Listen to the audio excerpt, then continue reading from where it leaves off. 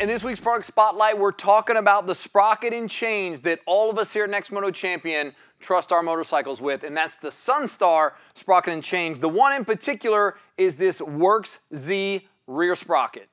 Now, Sunstar is the largest OEM supplier of sprockets and brake rotors in the world. In fact, your motorcycle probably came from the factory with a Sunstar sprocket. Sunstar products use an exclusive heat treatment and quenching process which is based on advanced research and design and it's sold at an added value price. The evolution of the exclusive Sunstar Z sprocket is now made from the highest quality stainless steel. It weighs up to 50% lighter than standard steel sprockets. 100% heat treated and even lighter than before with the new weight reduction cutouts but it still has a hardness five times that of an aluminum sprocket and twice that of a standard steel sprocket. It's up to four times more durable with 1.2 times the lateral strength of any aluminum sprocket.